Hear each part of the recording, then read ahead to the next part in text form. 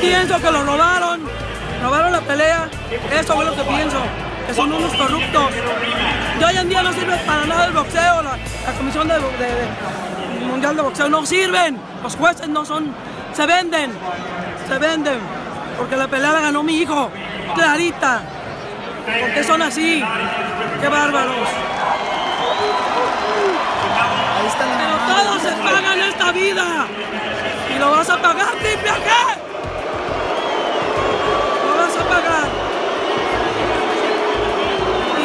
sabes que no ganaste. Tú sabes.